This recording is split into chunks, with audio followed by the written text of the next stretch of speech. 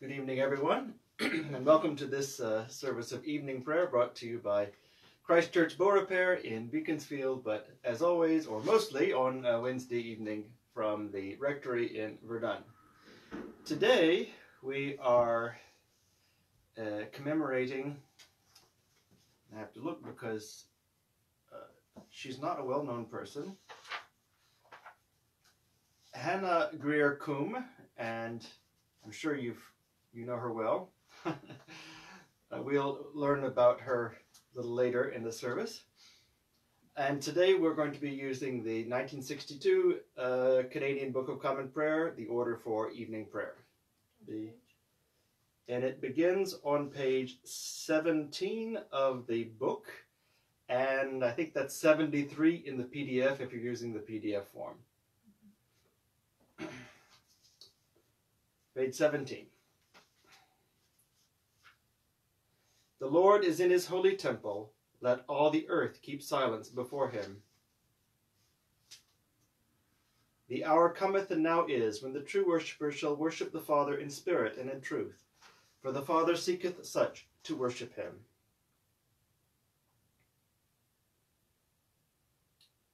Continue with the confession on page 18. Dearly beloved, the Scripture moveth us in sundry places to acknowledge and confess our manifold sins and wickedness that we should not dissemble nor cloak them before the face of Almighty God, our Heavenly Father, but confess them with an humble, lowly, penitent, and obedient heart, to the end that we may obtain forgiveness of the same, by His infinite goodness and mercy. And although we ought at all times humbly to acknowledge our sins before God, yet ought we most chiefly so to do, when we assemble and meet together to render thanks for the great benefits that we have received at His hands, to set forth His most worthy praise, to hear His most holy word, and to ask those things which are requisite and necessary, as well for the body as the soul. Wherefore I pray and beseech you, as many as are here present, to accompany me with a pure heart and humble voice unto the throne of the heavenly grace. Almighty and most merciful Father, we have erred and strayed from thy ways like lost sheep. We have followed too much the devices and desires of our own hearts. We have offended against thy holy laws. We have left undone those things which we ought to have done, and we have done those things which we ought not to have done, and there is no health in us. But thou, O Lord, have mercy upon us, miserable offenders. Spare thou them, O God, which confess their faults. Restore thou them that are penitent, according to thy promises declared unto mankind in Christ Jesus our Lord. And grant, O most merciful Father, for his sake, that we may hereafter live a godly, righteous, and sober life, to the glory of thy holy name. Amen.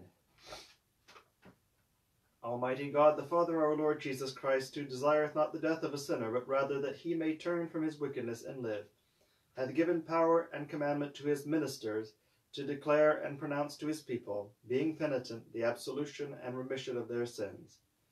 He pardoneth and absolveth all them that truly repent and unfeigningly believe his holy gospel.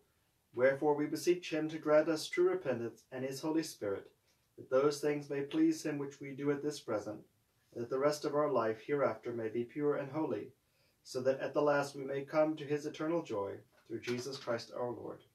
Amen. Amen. Our Father, who art in heaven, hallowed be thy name. Thy kingdom come, thy will be done, on earth as it is in heaven. Give us this day our daily bread, and forgive us our trespasses, as we forgive them that trespass against us. And lead us not into temptation, but deliver us from evil. For thine is the kingdom, the power, and the glory, for ever and ever. Amen. O Lord, open thou our lips. And our mouth may sh- shall put forth thy praise. O God, make speed to save us. O Lord, make haste to help us. Glory be to the Father, and to the Son, and to the Holy Ghost as it was in the beginning, is now, and ever shall be, world without end. Amen. Praise ye the Lord. The Lord's name be praised. Our psalm today is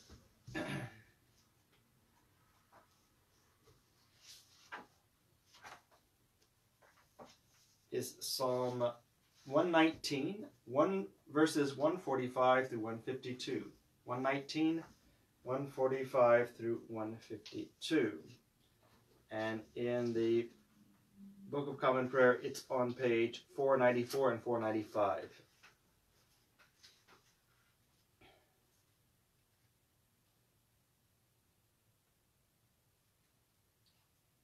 We'll say it uh, responsibly by half verse. I call with my whole heart. Hear me, O Lord, I will keep my statutes. Yea, even unto thee do I call. O help me. and I shall keep thy testimonies. Early in the morning do I cry unto thee. For in thy word I, is my trust, Mine eyes forestall the night watches. that I, I might be occupied in thy words. Hear my voice, my voice, O Lord, according unto thy loving kindness. Quicken me, according as thou art wont, They draw nigh that of mal- malice persecute me. and are far from thy law. Thou art nigh at hand, O Lord, and all thy commandments are true. As concerning thy testimonies I have known long since. that thou hast grounded them forever. Glory be to the Father, and to the Son, and to the Holy Ghost, as it was in the beginning, is now, and sh- ever shall be, world without end. Amen.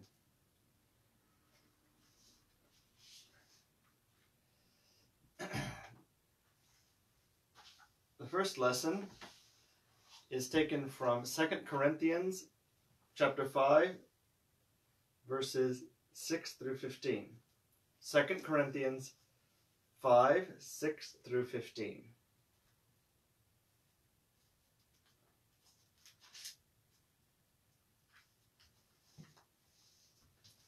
So we are always confident, even though we know that while we are at home in the body, we are away from the Lord.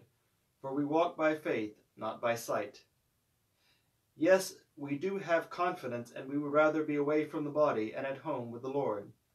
So whether we are at home or away, we make it our aim to please him. For all of us must appear before the judgment seat of Christ, so that each may receive recompense for what has been done in the body, whether good or evil.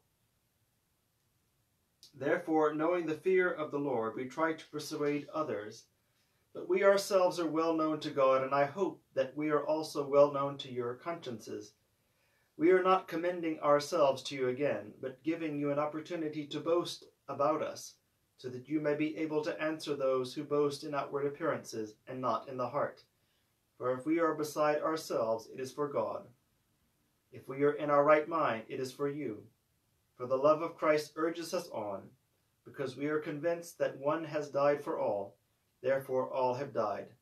And he died for all, so that those who, who live might live no longer for themselves, but for him who died and was raised for them. Here endeth the epistle lesson.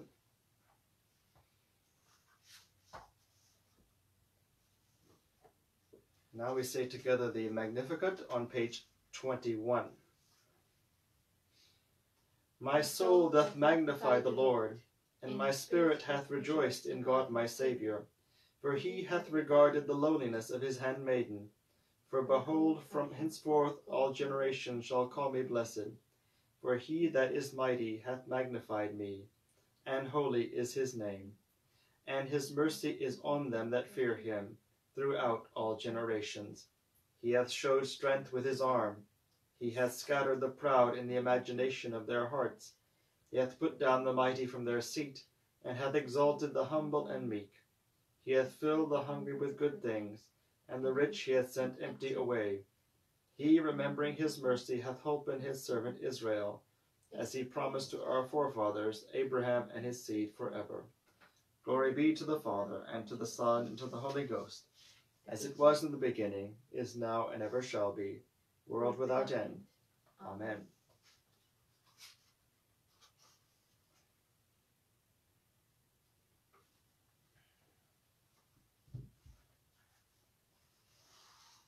Our gospel lesson is from the Gospel of Matthew, chapter 6, verses 19 through 21. Matthew 6, 19 through 21. Do not store up for yourselves treasures on earth, where moth and rust consume, and where thieves break in and steal. But store up for yourselves treasures in heaven, where neither moth nor rust consumes, and where thieves do not break in and steal. For where your treasure is, there your heart will be also. Here endeth the gospel lesson.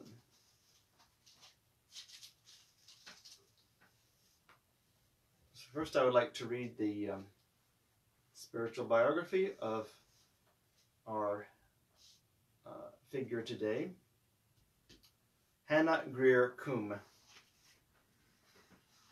religious founder of the Sisterhood of St. John the Divine.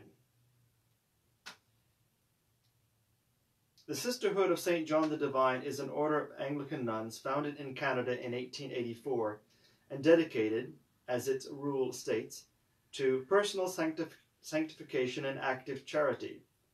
Today we remember Hannah Grier Coome, who was its founder and first Mother Superior. Born in Ontario, she married an Englishman and spent most of her married life in Britain. In 1877, her husband's business sent him to Chicago, where he died of cancer the following year. Ms. Coome remained in Chicago for another three years, then decided to return to England and try her vocation as an Anglican nun. On her way back, she visited her family in Toronto and discovered a group of Anglicans who wished to found a Canadian sisterhood. She accepted their invitation to take the first step and performed her novitiate in the United States. Mother Hannah returned to Toronto in September 1884 and launched the Sisterhood of St. John the Divine. She and her new community initially faced a good deal of harassment, but their work during the Riel Rebellion serving in the government's field hospitals overcame these prejudices. The sisters eventually founded a hospital of their own where over half their patients received medical attention free of charge. Later, they established a nursing home for the elderly, one of the first in Canada, and took charge of a school for girls. Mother Hannah guided these enterprises and the everyday life of the sisters with holiness, practical wisdom, and a sense of humor that pierced high flying pretensions and unseasonable gloom. She retired from the office of superior in 1916 and died on Ash Wednesday five years later. In her life, she learned to be a light which kindled righteous deeds in others, and her community continues in the same work to this day. of the Father, and the Son, and the Holy Ghost. Amen.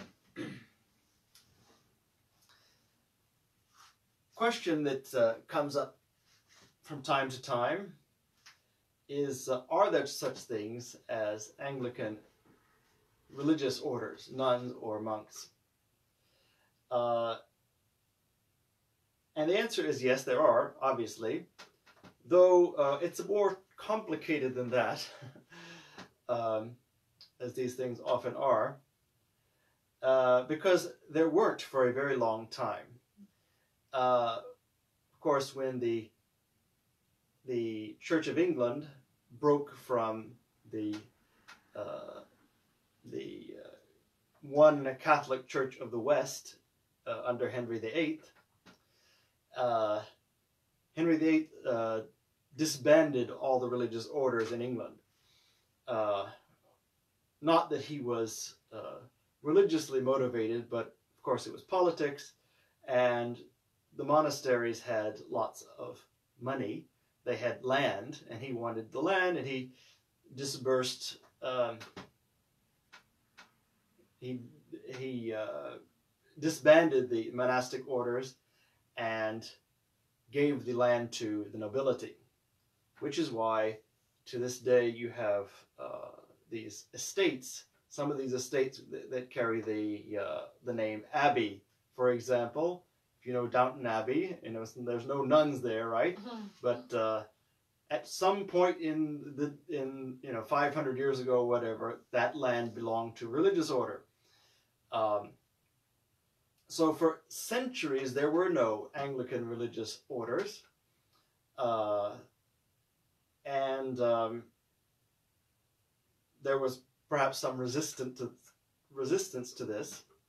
And it was only in the uh, 19th century with the Oxford movement that uh, religious orders started to reappear. The Oxford movement, of course, is uh, um, the liturgical revival in the Anglican Church in the late Victor in the Victorian era, um, which restored a lot of things that had been uh, either suppressed or had fallen out of use, like vest like uh, proper uh, Eucharistic vestments, um, uh, uh, certain aspects of our uh, Anglican liturgy that we take for granted, like things like can- candles on the altar and all these things. Um, and out of that Oxford movement grew the Anglo Catholic movement, which is part of uh, the Anglican spectrum. Uh, so, and this, of course, is one example. This uh, Mother Superior Hannah Grier Coome of a specific monastic order in uh, founded in Canada in the Anglican tradition. Um, now, this is kind of the, the idea of Anglican religious orders. Some people might think, well, that isn't that Catholic or Roman Catholic. And the answer to this question is, uh, which is also the answer to many questions of this nature. Uh, the Anglican tradition falls neatly between uh, Roman Catholic and Protestant. And it's often said that the Anglican tradition is both Catholic and Reformed. And we have all the all the, all the broad spectrum between the two. You know, uh, there's there's the more evangelical uh, Protestant side of Anglicanism, and then there's the Anglo-Catholic side of, of Anglicanism, and everything in between, which gives us our, our wonderful uh, diversity of um, liturgical practice and uh, very, makes our tradition very tolerant and broad, uh, a tolerant and broad one. So things that some people I think are Catholic, like religious orders or even uh, uh, the Hail Mary, the, the, the, the Hail Mary prayer. We, we sang a hymn last Sunday that uh, the chorus is Hail Mary, Hail Mary, Hail Mary full of grace. And uh, someone asked me about it or, or commented on it, and, uh, you know, do Anglicans do that? Well, first of all, the Hail Mary prayer is straight out of the Bible. I mean, it's right in Luke. You can read it as like, Hail Mary, full of grace, the Lord is with thee. Blessed art thou amongst women, and blessed is the, the fruit of thy womb. That's straight out of Luke. So there's that. But also, she is the uh, the the the the God bearer, as the as we traditionally say. She brought Christ into the world, so we give her a place of uh, of, of honor. Other things like you know our vestments, uh, um, and and many other aspects of our tradition might look Catholic to some people, but we are a blended tradition that, uh, as Queen Elizabeth I uh, said, is the middle way. So yes, now we do have Anglican religious religious orders. I even know um, someone who uh, are uh, uh, priest at our cathedral, Deb- Deborah, Reverend Deborah, Deborah Meister, who just uh, a few months ago took uh, religious order orders in the Anglican Church. So it's not as well known as in the Catholic Church, but it exists. Now, looking at our, our reading today from Matthew, this famous passage about don't store up for yourself treasures on earth, but rather treasures in heaven. I think the way we kind of think about this passage is that um, don't strive for wealth and material possessions in this life, but rather aim for heaven, meaning the world to come after we die. And that's certainly one way of reading it, but I think that's a bit too uh, too um, dualistic in that it kind of puts pushes everything to uh, the other the other life and and takes us away from what we're living right now. And if we kind of look at this in the context of what Jesus taught, when he's talking about heaven, the kingdom of heaven, he talks about the kingdom of heaven in Matthew and other parts of the gospel he's talked about the kingdom of God. So same thing, kingdom of God, kingdom of heaven. It's clear that Jesus is not just talking about the afterlife. That's part of it, but it's also something that's right here already. You know, the kingdom of the kingdom of God is in your midst, or the kingdom of God is within you, even.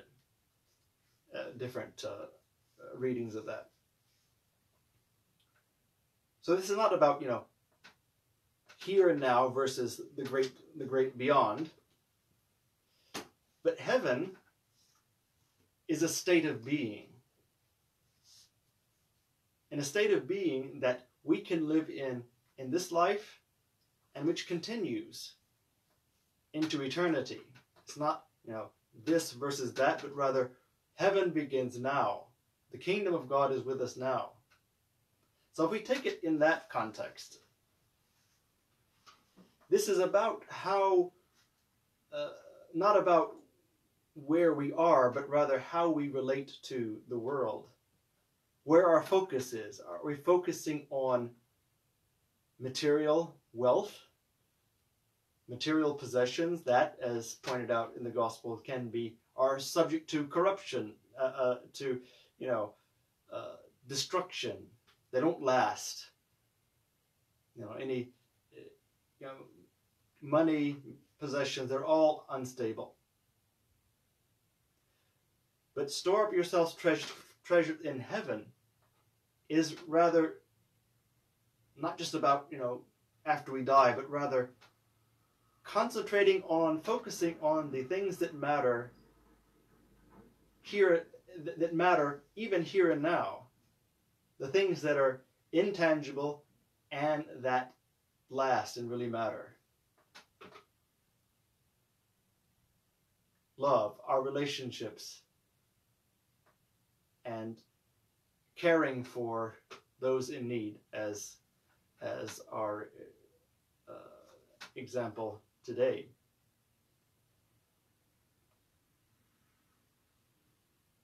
So we shouldn't think about this just in terms of this life versus after death, but rather, where do we place our emphasis in our life now? Is it on is it on the material or is it on those things that last? The things of God, the things of, of our soul. And if we focus on those things here and now, we are already living in the kingdom of heaven, even on this side of eternity. Amen. Amen.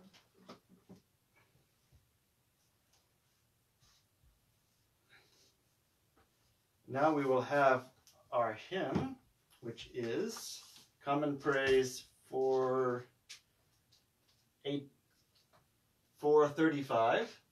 Take my life and let it be. Take my life and let it be.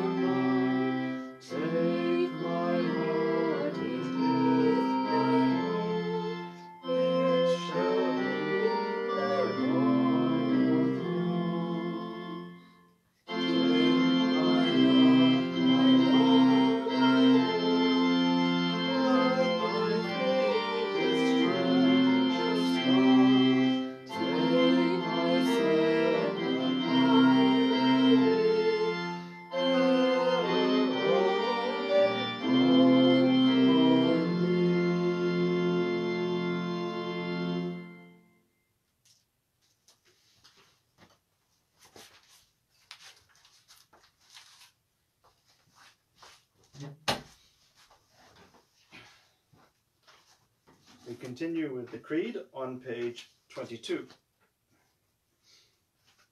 I believe in God, the Father Almighty, maker of heaven and earth, and in Jesus Christ, his only Son, our Lord, who was conceived by the Holy Ghost, born of the Virgin Mary, suffered under Pontius Pilate, was crucified, dead, and buried. He descended into hell. The third day he rose again from the dead. He ascended into heaven, and sitteth on the right hand of God the Father Almighty. From thence he shall come to judge the quick and the dead. I believe in the Holy Ghost, the Holy Catholic Church, the communion of saints, the forgiveness of sins, the resurrection of the body, and the life everlasting. Amen. The Lord be with you. And with thy spirit, Let us pray. Lord, have mercy upon us. Christ, have mercy upon us. Lord, have mercy upon us. Our Father, who art in heaven, hallowed be thy name. Thy kingdom come, thy will be done, on earth as it is in heaven. Give us this day our daily bread, and forgive us our trespasses as we forgive them that trespass against us. And lead us not into temptation, but deliver us from evil. Amen. O Lord, show thy mercy upon us. And grant us thy salvation, O Lord, save the Queen. And mercifully hear us when we call upon thee, Endue thy ministers with righteousness. and make thy chosen people joyful, O Lord, save thy people. and bless thine inheritance, Give peace in our time, O Lord. and evermore mightily defend us. O God, make clean our hearts within us. And take not thy Holy Spirit from us.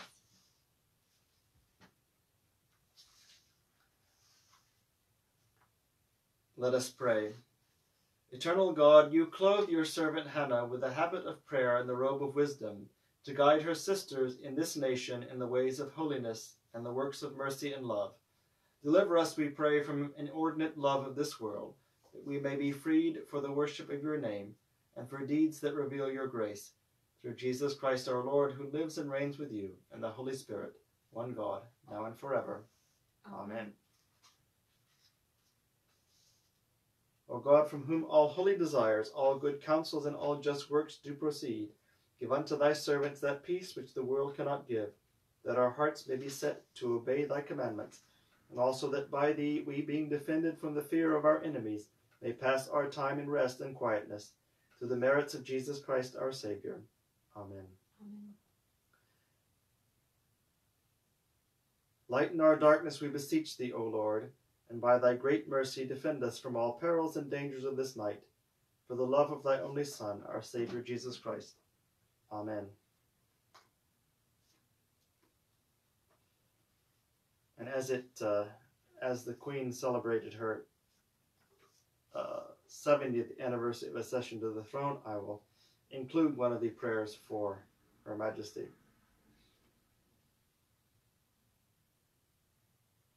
Almighty God, the fountain of all goodness, we humbly beseech thee to bless our sovereign lady, Queen Elizabeth, the parliaments of this commonwealth, and all who are set in authority under her, that they may order all things in wisdom, righteousness, and peace, to the honor of thy holy name, and the good of thy church and people, through Jesus Christ our Lord. Amen. Now I invite you to submit your request for intercessory prayer as we pray together. Type, please type in the comment section.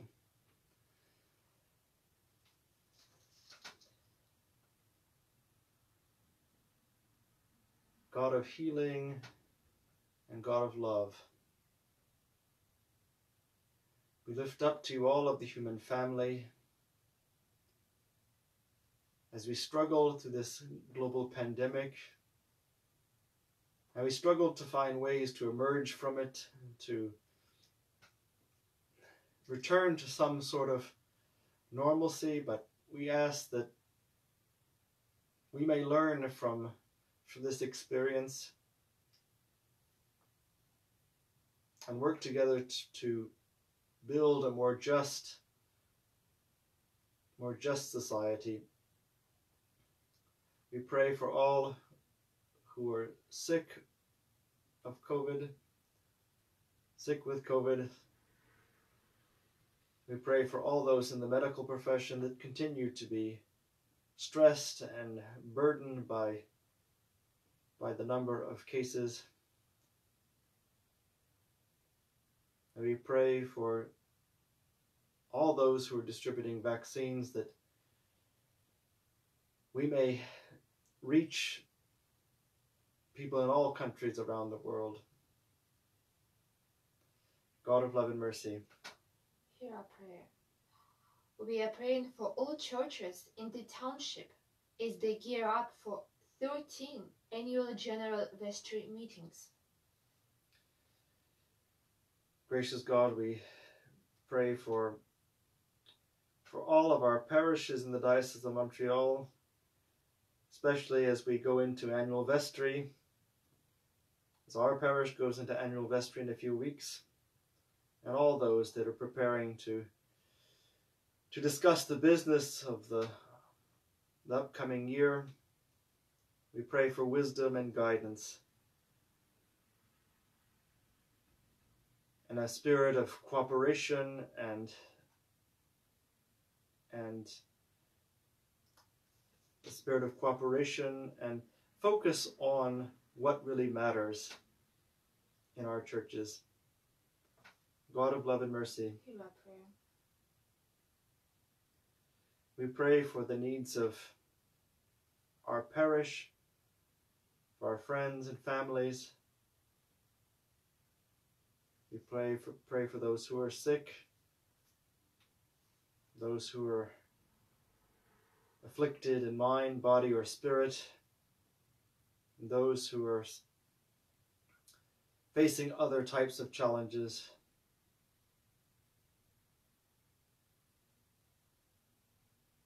We pray for Irene, for Jane, for Donna, Karen, for Sandy, for Ingrid and Gordon and Trish, for Eleanor,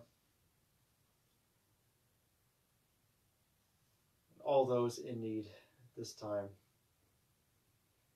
We pray for all who have died.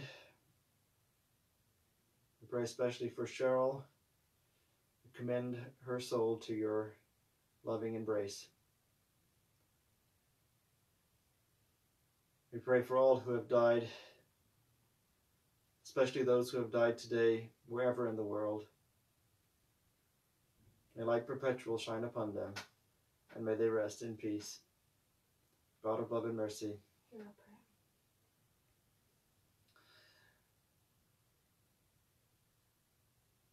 as we open as our churches reopen or prepare to reopen for in-person worship we pray for for guidance we also pray for for prudence but also we pray that we may all of our members may be motivated to return to worship when they feel ready. That we may rebuild our communities and, and the ties that bind us together.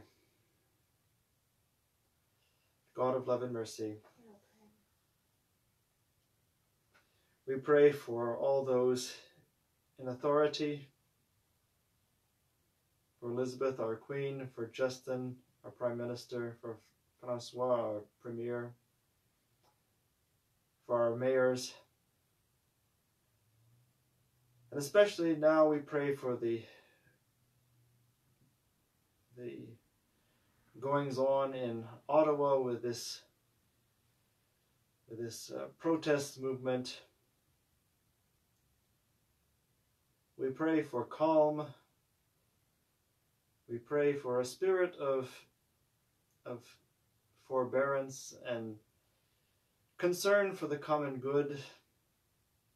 And I pray for we pray for an end to selfishness and egotism.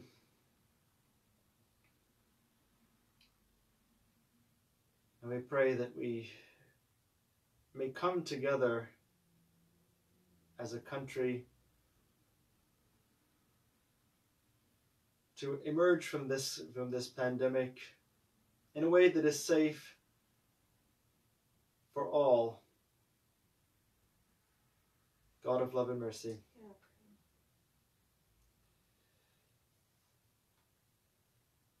Gracious God, we lift up to you all these these intentions that we have spoken, that we have written, or that we have whispered silently in our hearts.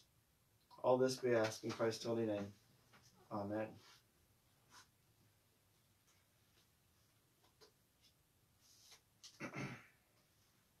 Almighty God, who hast given us grace at this time with one accord to make our common supplication unto thee, and thus promise that when two or three are gathered together in thy name, thou wilt grant their request.